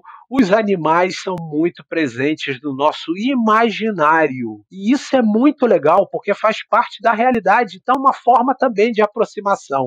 E aí, você, com uma tacada, você defende duas áreas: a área da ciência, no nosso caso, a zoologia, e a área da cultura popular, que também, volta e meia, é atacada. Não é de outra forma, né? Que a gente vê que não é só aqui no Brasil, nem no momento atual, mas quando você tem um governo totalitário, coisa e tal, é muito comum eles tentarem atacar primeiro ciência e cultura. Então são duas áreas que podem conversar para benefício próprio. Folclore é uma forma de diálogo, de possibilitar esse diálogo de áreas tão aparentemente diferentes, mas que na verdade têm muitos pontos em comum. Então dá para a gente começar de cultura pop e terminar em cultura popular, falando de bicho e dá para ficar horas e horas falando, são muitos exemplos. Vocês gostaram da minha apresentação de início, hein? Vocês viram como eu tô encantada pelo tema. Foi muito legal, eu adorei. que bom. Uma ótima introdução mesmo. E como o Elidiomar disse, é conversa para mais de metro e conversa para mesa de bar também, para ficar horas ali conversando. Tem muita coisa para ser abordada mesmo. Eu acho que só os provérbios já davam um, um episódio inteiro, né? Só, só disso. É, inclusive, me lembrei também de um texto que a Susan me mandou há algum tempinho atrás, seu, Elidiomar, sobre essa questão do, dos provérbios, que eu achei fantástico aquele texto. Acho que é válido a gente deixar também na descrição do episódio para o pessoal ler. E é muito legal descobrir a origem de algumas dessas expressões. É bem bacana, muito interessante é, a gente fala sem, sem saber, né, de onde que vem, o motivo e tal, e quando a gente descobre, algumas inclusive fazem muito sentido e é bem interessante saber. E tem expressões espetaculares que são usadas, por exemplo, no futebol. É, eu adoro futebol. E aí você liga a televisão, vai ver um jogo, aí você escuta o narrador falar: ah, o chute foi lá onde a coruja dorme, ou no gogó da Ema. O goleiro que sai e não pega a bola, ele saiu catando borboleta. Isso é sensacional. E a gente não para para pensar, mas os animais também são super presentes no futebol. Porque aí você junta duas paixões, né? O, a zoologia é uma paixão informal, as pessoas não percebem, mas elas gostam de bicho, naturalmente gostam de zoologia, tabela. E o futebol, como essa representação cultural do povo, uma tremenda força. E os animais dão as cartas. Basta dizer, né? Da zebra, muitas vezes. é verdade. Bem lembrado. É, tem muitas expressões mesmo, né? Em todas as, as esferas da, da sociedade, né? E além disso, desses vários exemplos que você já citou, dos provérbios, das manifestações em filmes, séries, ainda tem na música, né? Muitas bandas aí com nomes de animais, né? Eu até fiz uma listinha pequena aqui, mas fiz é, de algumas bandas com nome de, de animais que eu lembrei rapidamente aqui. Vou citá-las é, Scorpions, Eagles, White Snake, Ratos de Porão, melhor banda do Brasil para mim. Pantera e a banda mais famosa de todos os tempos, Beatles, né? Que faz um trocadilho aí com, com os besouros e, e, e batida musical em inglês, né? Tô esquecendo alguma, Aron? Você tá lembrando de alguma aí? O Aron também gosta do, do, de um estilo que eu não conheço tanto, talvez ele tenha mais bandas na manga aí. Tem uma banda que é, que é do Rio de Janeiro, não sei se o Ligemar vai conhecer, porque o cara é famosíssimo aí no Rio de Janeiro. Que é o Lionheart, do Thier. Ah, já ouvi, é. É muito legal. E, e, assim, tem trabalhos incríveis nessa área. Tem um cara que analisou a presença de insetos nas músicas de rock and roll. Inseto e rock and roll tem tudo a ver, né? Normal. E teve esse mesmo cara que ele foi além. Ele analisou a presença de insetos na inspiração de capas de disco de rock and roll. Olha que barato, cara. Que simbolismo fantástico. Sensacional. É, até o professor do Museu Nacional, o professor Alcimar, ele fez um trabalho que eu acho fantástico ele analisou as libélulas presentes no título de 100 músicas de rock and roll. Caramba! Eu, eu quando, quando ele falou, eu falei, não, não é possível ter 100. No título tem. um Dragonfly presente em 100, e ele falou que parou em 100 porque ele quis, porque ele poderia continuar. Olha que, que influência maravilhosa. É, eu pensei a mesma coisa que você. Falei, caramba, tem tudo isso? Na verdade, tem mais ainda. Bom, e aí, além disso, é, a gente falou bastante do, de, de, de influências né, na, na cultura. Muitas coisas que, que são aspecto positivo, como o filme Rio, por exemplo, né, que a gente citou, mas também tem alguns pontos negativos da influência da cultura, né? O que, que você pode falar sobre isso pra gente, Lidiomar? Ah, que legal. Esse é um ponto muito importante realmente. Eu vou dar também um exemplo de como é, uma manifestação cultural ela pode reverter em prejuízo para um grupo animal. Caso do tubarão. É, o filme da década de 1970, de Spielberg, um filme fantástico, né, premiadíssimo, Sim. ele vendeu a imagem do tubarão como um assassino feroz, sanguinário, que persegue de modo cruel os seres humanos, e isso também forjou no imaginário popular a, a, a essa história de que tubarão é um bicho a ser temido. A ponto de eu escutar pessoas falarem assim na minha cara que não entram na praia porque tem medo de tubarão, morrem de medo de tubarão. E eu, né, contra-argumento, falando: olha só, probabilisticamente você tem mais chance de morrer atacado por uma vaca do que por um tubarão, simplesmente pelo fato de você estar no mesmo ambiente da vaca. E até tem mais registros mesmo de óbitos humanos, de, de bovídeo, atacados por bovídeos do que por tubarão. Verdade. O tubarão é que tem muito a temer a gente. Um terço das espécies de raias e tubarão estão em extinção por causa da caça, da pesca terrível que eles são submetidos para consumo e principalmente de modo preventivo. Você vê um tubarão, você mata. E o filme tem uma parcela disso. Como é que a gente consegue reverter isso? Também com a cultura. Você tenta explorar personagens que são queridos e que tem o tubarão como motivador, como inspiração. Tipo o Tutubarão, que é um desenho animado das antigas, o tal Baby Shark de agora, né, mais recentemente, que as crianças gostam, faz muito sucesso, você tenta suavizar essa imagem. E você uhum. pode ainda usar a presença cultural do tubarão em outras regiões. O tubarão ele é considerado rei para algumas populações originárias da África e na própria região oriental também tem populações que exaltam, transformam o tubarão quase que em uma divindade. Então mostra que a percepção ela varia ao longo da humanidade. A gente consegue tentar reverter esse processo. É, e a mesma coisa já acontece com outros grupos animais, que são muito estereotipados.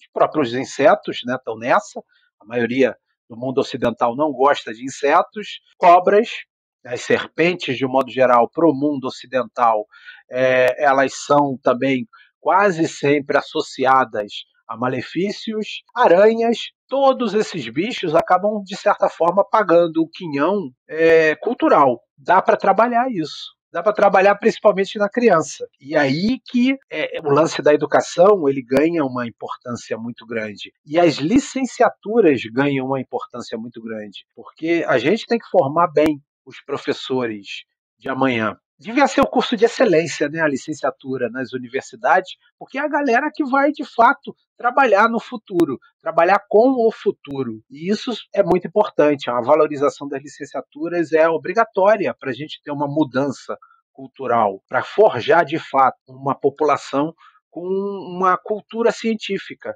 efetiva. É, seria, seria lindo imaginar que uma secretaria municipal ou estadual de educação ou o Ministério da Educação fosse levar essas informações e a necessidade dessa formação e dessa desmistificação nas escolas.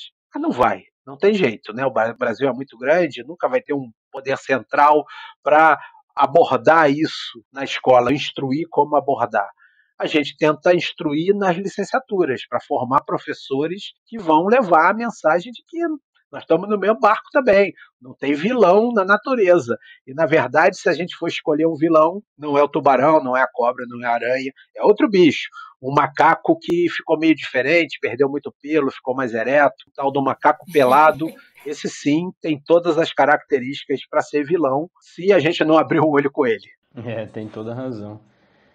E, bom, você começou a falar, né, dos pontos negativos e o exemplo que você deu foi justamente o primeiro que me veio à cabeça quando eu li esse tópico do filme Tubarão.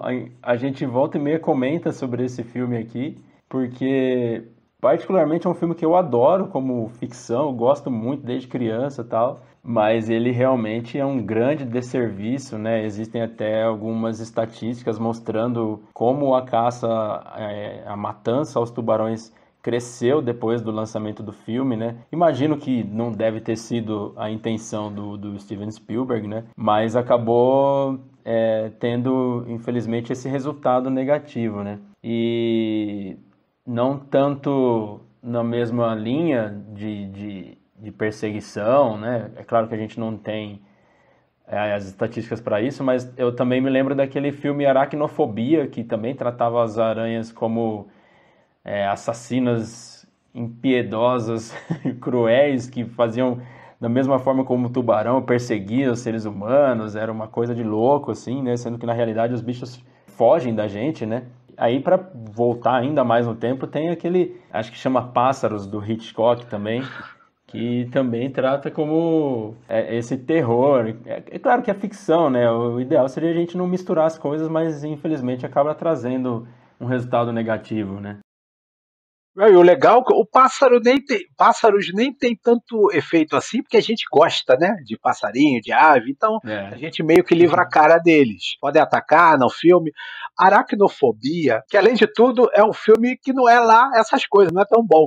Mas ele é, é tão não tão bom assim que fica bom, né? Vira aquele filme mais pro lado B. Sim. E ele é legal que ele é cheio de bizarrices, do tipo mistura de espécies completamente diferentes, as aranhas tremendamente coloniais, né? A aranha lá como se fosse a rainha, aranha com os filhotinhos agindo é, em, em prol de uma causa, gatos presos na teia de aranha, seres humanos presos na teia de aranha.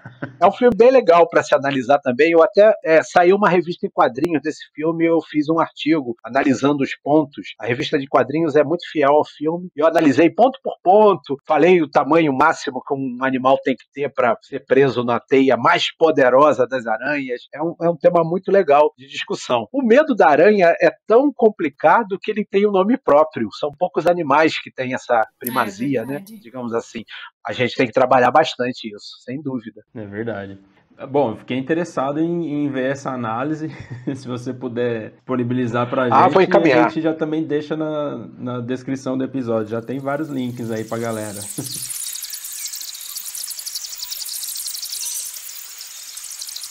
Bom, a gente também falou de, das influências na, na, manifestação né, cultural, da presença dos animais, e acho que um, um um desenho, eu não sei se pode chamar de desenho, porque eu não acompanho muito, não sei se a galera que é fã ficou ofendida. É, é desenho, mano, não é nada. É desenho, é desenho velho. Né? Não vem querer encher o saco que é anime, não é desenho, brother. é o Pokémon, né? Que ele é, busca inspiração, pelo menos a primeira parte, né? É, antigamente tinha centenas de personagens que era tudo inspiração em, em, em, animais, em plantas, cogumelos, tudo que existe de verdade, né, Aaron? Você que, que tá mais por dentro aí, como é que era isso? É, então, eu considero 150 primeiro, cara, porque os caras começaram a varzear depois. Né? Até lata de lixo virou Pokémon, então eu não considero, velho. Não é, os caras começaram a varzear fortemente. Mas a maioria desses 150 primeiros era baseada em, em animais e plantas que realmente existiam, que realmente existem, né? O, por exemplo, o Arcanine ele é um malamute do Alasca, que é um husky siberiano mais gordinho, tá ligado? Aham. Uhum. O PJ, que era o primeiro, que é o pombo do negócio, ele é um picoteiro americano. Não sei se, se o pessoal procurar, ele tem, tipo, aquele olhinho preto tal, a mesma cor. Então, tipo, a maioria, se você, as cacunas são a, as pulpas de abelha, é a mesma coisa. Você jogar uhum. lá. Eu até posso deixar, tem um, um site assim que eles colocam as fotos, né? Das inspirações. Pra, é, para comparar e, meu, é, é, é absurdo. Caterpie, que é um dos primeiros lá, com aquela lagartinha, falou, nossa, não existe, existe igualzinho, acho que é uhum. Spice Bush Swallowtail, alguma coisa assim, que é uma lagarta de... que tem as, uma verdinha e uma laranja, né? Sim. É, então, assim, eu não gosto tanto, né? Nunca acompanhei, não, não é muito minha praia esse tipo de desenho, assim. Mas eu acho bem interessante, existem vários artigos, né, falando sobre isso, fazendo essa, esse levantamento das espécies, né, que, que inspiraram os personagens do Pokémon. E entra muito, né, no Elidiomar, nessa, nessa questão da, é, da zoologia cultural, né? O Pokémon tem uma, uma, é bem forte nisso, né? É, entra completamente. É, tem, tem artigos fantásticos. Tem um trabalho que analisa os peixes Pokémon. Os autores fizeram a lista dos peixes reais que inspiraram os personagens Pokémon, e isso tem um tremendo potencial de divulgação, porque Pokémon é uma força popular, uma potência gigantesca. E tem trabalho com molusco, com insetos, com artrópodes de modo geral. Tem muito trabalho abordando a identificação de Pokémon. E um trabalho que eu, eu participei, eu gostei muito, a gente analisou, foi logo no início do lançamento do aplicativo de celular, o Pokémon Go. Agora, dizem que diminuiu o número de, de pessoas jogando, mas eu também não acho muito, acho que não é por aí não. Eu particularmente não jogo, eu tenho o Pokémon Go só para ajudar minha mulher, ela sim, efetivamente joga. E quando ela quer entrar num ginásio, ele está sempre lotado. Então, como é que pode esse negócio estar tá diminuindo se você não consegue nem entrar no ginásio porque já está com a lotação esgotada. Pokémon Go, quando foi lançado, é, foi um passo além no, nos aplicativos e que fez com que uma legião de pessoas, jovens na sua maioria, crianças em grande parte, começassem a andar pelas cidades, prestando atenção, procurando pegar os Pokémon, os monstrinhos é, de bolso fictícios. Mas essas crianças andando pela cidade, elas começaram a ver animais de verdade: borboletas, mariposas, moscas, insetos de modo geral, pombo, pardal, rolinha, gaviões, cachorro, gato, animais domésticos. Esses animais passaram a ser mais vistos. E outra coisa é que com as Pokéstops do, do aplicativo, alguns lugares que eram muito mal cuidados começaram a ser melhor cuidados porque eles eram pontos de reunião de jogadores de Pokémon. E as prefeituras de algumas cidades, isso foi bem noticiado, começaram a cuidar melhor daquela praça, botar uma iluminação para o cara ter mais segurança para ir de noite. Olha que coisa positiva começou a ter com relação a um jogo que é baseado no desenho, eu também concordo que é um desenho, aliás, são vários desenhos, porque são muitas gerações, e jogos, uma verdadeira franquia gigantesca, uma franquia que tem fãs pelo mundo inteiro, e quase todos com alguma inspiração, principalmente em animais, mas em plantas também, e fungos também. Olha a força que isso tem. E aí você pode trabalhar com essa galera toda, falando: ah, você gosta de pegar os Pokémon, né? Legal, coleciona os Pokémon. Vamos ver os bichos de verdade também, os insetos. O inseto é muito bom para colecionar. Você vai forjando até os taxonomistas do amanhã. Isso é muito legal. Eu, eu nunca fui fã de Pokémon. acabei ficando fã por tabela, por causa dessas inúmeras possibilidades de utilização quase que inesgotáveis. E é muito legal, eu gosto muito quando aparecem os novos, eu não fico nos 150 não, porque é cada bicho de inspiração que é espetacular. E eu vou destacar um trabalho, em A Bruxa a gente já recebeu vários artigos ligados a Pokémon, de paleontologia, então tem pelo menos dois muito bons. Eu gosto muito de um trabalho de botânica que os autores, eles são taxonomistas vegetais, e eles criaram Pokémons, fizeram caminho contrário. Eles criaram pokémons para popularizar as plantas que eles estudam. São plantas pouco conhecidas. Eles criaram, fizeram o Pokémon tudo direitinho, com a carta, com todas as características do grupo de plantas que eles estudam. Isso é sensacional. É, tem até o um nome para isso, são os Fakemons, né? São os Pokémons criados pelos fãs. Os caras conseguiram popularizar as plantas, o trabalho científico que eles fazem efetivamente com os Pokémon. Maravilhoso. É inúmeras possibilidades. Olha só. É, isso é uma ótima sacada, né? É, a gente, algum tempinho atrás, fez uma publicação sobre taxonomia e relacionando é, algumas espécies catalogadas homenageando atrizes, cantoras e tal, né? E um gênero de planta foi batizado em homenagem à Lady Gaga, né? Não foi uhum. não, não uma espécie, mas um gênero de planta. Então várias espécies também. E justamente com essa intenção de popularizar a botânica. É uma samambaia, né? Uma samambaia em homenagem à Lady Gaga. É isso mesmo. É espetacular. O, o, o autor, o botânico lá que descreveu o grupo, ele é uma figura. Ele tirou uma foto de, encontrando a planta, né? Encontrando esse gênero novo na natureza. E aí ele tirou a foto lá fazendo uma expressão de alegria. E ele é muito fã de Lady Gaga. Batizou todas as. Acho que se eu não me engano, são três espécies. Ele batizou o fã da Lady Gaga, o sobrenome da Lady Gaga, o nome da mãe da Lady Gaga, tudo dentro do gênero Gaga. É sensacional. E aí a imprensa gosta, a imprensa faz, noticia isso e chama atenção para o trabalho de taxonomia, traz visibilidade. Isso é muito importante, sim. Eu, eu também adoro quando sai um nome desses. Eu acho bacana ter um nome de localidade ou um nome exaltando um grande pesquisador da área, mas eu vibro mesmo quando tem um nome cultural, porque você sabe que vai ter algum holofote e vai chamar atenção para aquele grupo uhum. e principalmente para o trabalho que é feito. É, exatamente. É uma ótima alternativa ali para escapar um pouquinho da academia, né, e atingir grandes portais de notícia aí, realmente é uma, uma ideia interessante mesmo, para ter uma divulgação mais legal, assim, dar mais holofote, como você comentou, né. Bom, então a gente vai, é, acho que para o nosso último tópico, né, que, que o Suza mais vai gostar do, do podcast, que é sobre insetos na cultura pop, né? Então, o que, que a gente pode falar sobre isso? Ele já tem, tem vários pontos, né, que dá para abordar disso, né? Vários, sem dúvida. E eu comecei a estudar bastante esse assunto, porque eu tenho uma coluna mensal no Fauna News, que é um portal de defesa da biodiversidade, muito legal, conteúdo incrível. Uma vez por mês eu escrevo sobre insetos. É, é uma coluna de invertebrados. Então, uma vez por mês tem a minha coluna de insetos e tem uma de aranhas, a gente vai alternando. É, aí tem insetos no futebol, insetos na cultura de modo geral.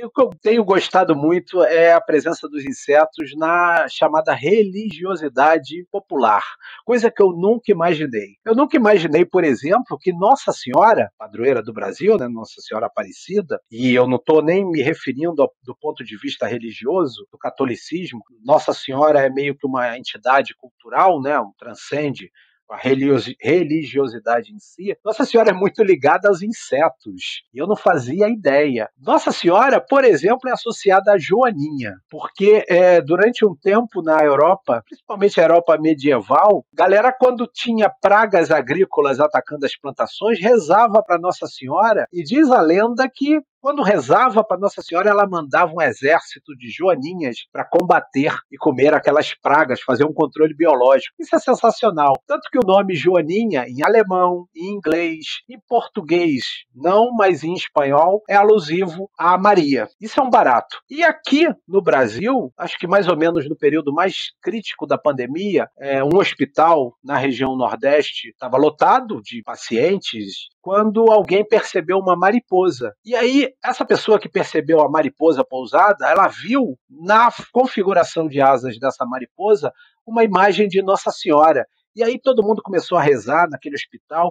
E eu comecei a pesquisar e vi que várias mariposas que pousam com a asa meio triangular, de formato triangular, elas são chamadas de mariposa de Nossa Senhora. Que barato, né? Eu não tinha essa percepção. Então, os insetos também têm essa ligação muito forte com a religiosidade popular. Eu acho que é um caminho bem legal, pretendo eh, me aprofundar nesses estudos, porque para mim é até um pouco contraditório, porque os insetos têm aquela, esse estereótipo negativo, acabam sendo ligados à religiosidade. Achei essa, essa condição conflitante muito interessante para abordar abordar. É, isso é novidade para mim, achei bem interessante também. Ah, eu li isso lá na coluna do professor Elidiomar, eu li esse artigo. Até mostrei para minha mãe, que ela é devota e tudo mais. Muito legal. Isso é legal, né? Que estabelece realmente uma ligação e a gente precisa defender os insetos em todos Exatamente. os espaços. Aproxima, né? De alguma maneira você aproxima das pessoas. Aproxima. É. Sensacional, achei bem legal isso.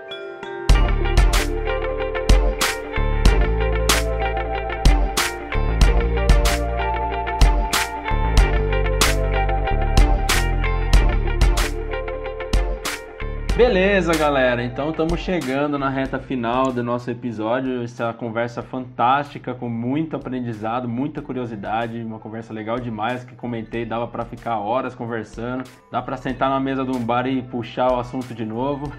Mas vamos lá para o nosso nosso momento tradicional já, indicações culturais. E como tenho feito ultimamente, eu vou pedir para o nosso convidado dar o pontapé inicial nas indicações. Ah, com muita felicidade. Eu fiz o trabalho de casa. Trouxe umas indicações bem legais. É, claro, vou indicar a bruxa. Acho que vale a pena. Tem artigos. Sou suspeito, mas tem realmente artigos fantásticos. Todos eles são muito interessantes.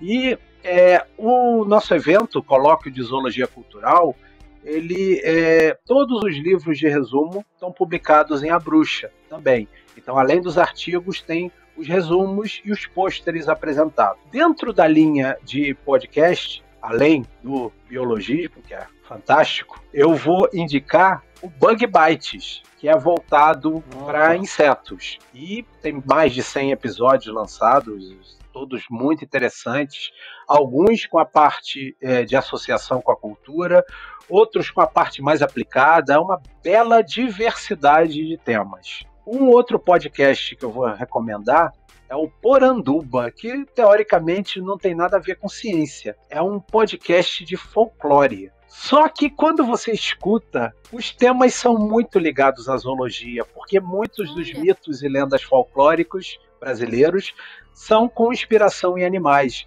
Então é um barato você escutar e ir associando, caramba, tá falando de lobo, caramba, tá falando de cobra, tá falando de inseto, falando de cachorro. Então é muito interessante ter essa diversidade. No YouTube, eu vou recomendar o canal Bruno Chaves Animais. O Bruno, ele é biólogo e fez o mestrado na Unirio, mestrado em biodiversidade neotropical. Ele é um colecionador de miniaturas de animais aqueles bonequinhos, é, e um profundo estudioso dessas, desses modelos de animais. Ele lança vídeos analisando a coleção deles e comparando com os animais reais e dando sempre informações muito interessantes e que podem ser muito aplicadas para fazer a popularização da ciência.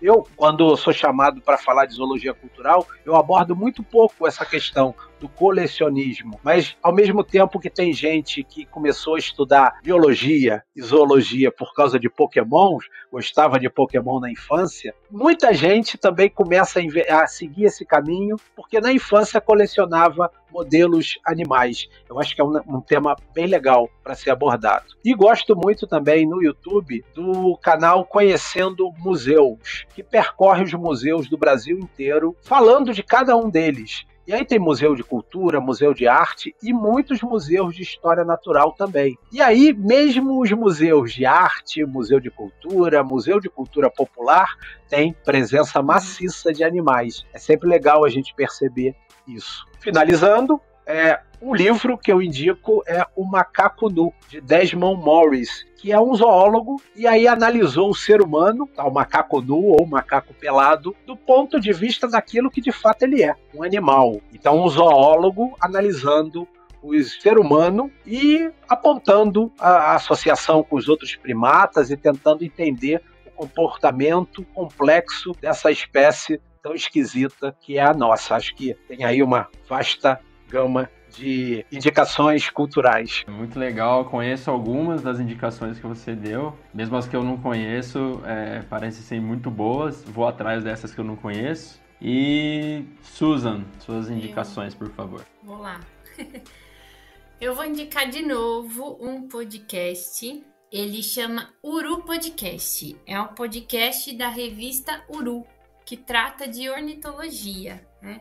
Que é o estudo das aves, né? Então, tanto na revista quanto nesse podcast, eles incentivam aí o estudo das aves e a observação de aves. E no, no, no, podcast, eles trazem episódios com especialistas de determinados grupos, comportamentos de aves, e eles falam um pouco de algumas aves específicas. Tem alguns episódios de algumas aves específicas algumas ameaçadas de extinção, algumas com um comportamento muito diferente. E eu achei bem legal, assim, é um podcast bem tranquilo e que dá vontade de você ouvir o próximo e o próximo. Então essa é a minha indicação de hoje, principalmente para quem gosta de bicho, para quem gosta aí das aves, dos passarinhos. Então a indicação é Uru Podcast. Show de bola. É... Vai, Aaron, fala o seu agora, por favor. Boa. Então, a minha indicação eu não sei, vão, serão duas. Eu não sei se essa primeira que eu vou dar eu já indiquei, mas eu eu já indiquei, eu vou indicar de novo, porque foi um dos desenhos, filmes da minha vida. E acho que a maioria das pessoas começou a gostar de, dizer biologia, entre aspas, animais por causa de Pokémon, né? Esse daí foi um dos filmes que fez eu começar a gostar de, de biologia também, que era uma coisa que eu queria ser também quando eu era moleque, eu queria ser paleontólogo quando era criança. E foi muito por causa do filme que chama Em Busca do Vale Encantado, que aí a gente já revela a idade, né, quando a gente fala do filme, né? Mas, puta, Em Busca do Vale Encantado, acho que são, agora deve ter uns 13 filmes aí, mas que é de, é de dinossauros tal, e que criança que não gosta disso, né? Tipo, que fica fascinado, né? E o outro que eu vou entregar mais ainda a minha idade, acho que é o Flávio já deve ter assistido isso daí também, que é As Aventuras de Babar, que é um elefantinho, assim. Ai, eu amo! Que é um, Babar. É um desenho muito antigo, passar na cultura, se eu não me engano. É, era, era muito louco. A gente já entrega a idade, né? Mas, então são essas duas indicações que eu dou, já que tá nessa pegada aí de, de biologia, zoologia no, na cultura. Então são esses dois desenhos, filmes que eu, vou, que eu indico. Beleza. É, eu não assisti isso aí não, mas eu tô ligado qual desenho que é. Agora, o outro que você indicou, você realmente já indicou uma vez, mas faz bastante tempo, acho que foi lá no comecinho do podcast. Foi no começo, né, eu achei Busca do Vale Encantado. Mas indico de novo porque é muito bom, então assistam isso. E tenta não chorar numa das cenas aí logo no começo, que eu não vou dar spoiler, que todo mundo deve saber, mas enfim. É, não se afeiçoa muito não, os personagens. Bom, é, eu também tenho duas indicações. Uma é um que eu comecei a assistir esses dias na Netflix, um documentário que ele é narrado pelo Barack Obama, chama Os Parques Nacionais Mais Fascinantes do Mundo. É um, uma, ele tem uma temporada, saiu há pouco tempo e é bem bonito para quem gosta de ver natureza, aqueles parques bem preservados, assim. Claro que também mostra um pouco da degradação do meio ambiente em algum, alguns momentos tal, mas mostra de todo o planeta, assim. Eu só vi o, primeiro episódio por enquanto, mas ele é bem bonito, acho que vale a pena assistir. E a outra indicação que eu tenho, já que a gente falou um pouquinho sobre lendas, sobre provérbios aqui no, nesse episódio, é eu quero indicar um episódio do nosso próprio podcast, que é o episódio número 17, onde a gente abordou mitos e lendas é, da biologia envolvendo animais, envolvendo frutas várias coisas aí. Acho que foi um, um dos episódios que foi muito bem, a galera gosta bastante. Acho que para quem não conhece, vale a pena ir atrás aí. Uhum. Tem um pouquinho a ver com a conversa de hoje. Ah, gente, adorei as indicações. Adorei. Inclusive, nesse episódio, eu, você comentou aí o 17, Acho que no final eu comento um pouco da questão dos insetos no folclore, né, uhum. né? Utilizando um livro lá do Nelson Papávero, que acho que, que fala bem interessante desse tema, assim, ele, fala, ele aborda bem esse tema. Um livro bem antigo ainda, que, que eu acho que até já indiquei por aqui, uhum. da questão dos insetos no folclore. Então acho que pode complementar realmente esse episódio. Verdade. Era isso.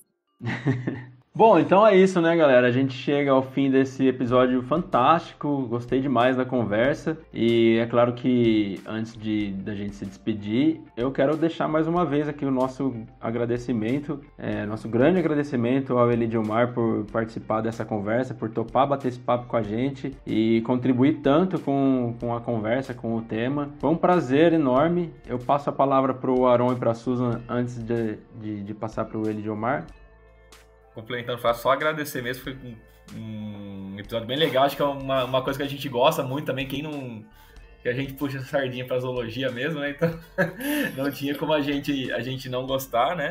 Então, mas, mas só agradecer mesmo o Lidiomar por topar, né? Por, só agradecer o Lemar por topar e por passar todo esse, esse conhecimento pra gente, né? Ai, eu não tenho nem palavras para agradecer a presença do senhor aqui, professor. Desde a primeira palestra que eu acompanhei do senhor, como eu já mencionei, eu me encantei muito pelo tema. Comecei a acompanhar tudo que eu encontrei do senhor, os artigos do Fauna News, a revista Bruxa, os colóquios, enfim, e é uma satisfação enorme poder bater esse papo hoje com o senhor. E eu tenho certeza que foi muito enriquecedor para nós, para mim e para todos os nossos ouvintes também. Muito obrigada. Nossa, gente, eu que agradeço demais. Vocês fizeram minha alegria essa noite. E vamos depois, daqui a um tempinho, marcar uma cerveja para conversar sobre esse tema que ele pede demais. E dá para gente utilizar para um monte de coisa, dá para fazer um monte de coisa legal. Muito, muito obrigado mesmo pelo convite. Adorei conversar com vocês. Opa, vamos, vamos marcar essa cerveja. Já tem um convite para ir para Salvador, agora para o Rio de Janeiro, hein, Susan? Pensou? Tá valendo, hein? Vai ser um ano de biologismo na estrada. Visitando o litoral brasileiro. que beleza. É isso então, né, galera? Chegamos aí ao fim. É, mais uma vez, deixo aqui o nosso muito obrigado a você que sobreviveu até aqui. Novos episódios do podcast Biologismo a cada duas quartas-feiras, às 10 horas da manhã, nas principais plataformas de streaming. Deixa o seu recado aí pra gente, deixa o seu feedback, o que, que você está achando do podcast, nesse formato que a gente está apresentando. É, sugestão de tema, crítica, elogio, no nosso e-mail, nas nossas redes sociais. Sempre bem-vindo, a gente sempre quer saber o que, que os nossos ouvintes, nossos seguidores pensam do nosso trabalho. Uhum. Certo, galera? Certo. Muito obrigado. Até o próximo episódio. Um grande abraço. Tchau, tchau. Um abraço, pessoal. Tchau. Valeu, galera. Falou. Tchau, tchau. Pera aí, só um minutinho. Pera aí, só um minutinho. Vamos fazer de novo essa parte. Ai, perdão, eu não vi que eu tava com. eu tossi com o microfone aberto. Dei mudo no microfone aqui, tinha esquecido. Tava falando sozinho aqui. Espera aí que, pra variar, tem um entregador de lanche passando aqui. Todo episódio ele, ele bate o ponto aqui. Não, é, eu tô com o microfone no mudo aqui há um tempão, não passa nada. Daí eu tiro a moto passa. Ah, não roubou a cadeira de balanço da avó dele.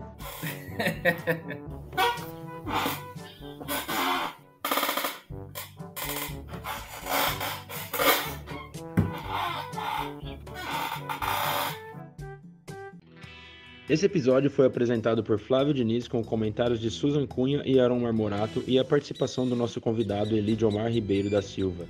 O roteiro do episódio foi desenvolvido por Susan Cunha e Flávio Diniz e a arte e edição por Flávio Diniz.